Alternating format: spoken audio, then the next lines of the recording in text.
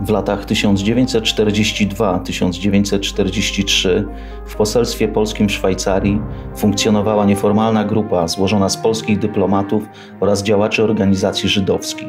Pozyskiwali oni paszporty krajów Ameryki Łacińskiej dla Żydów z okupowanej Europy. W ten sposób ratowali życie ludziom, którzy mieli być zamordowani w niemieckich obozach koncentracyjnych.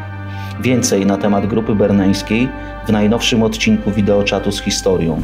Już we wtorek 29 stycznia o godzinie 18.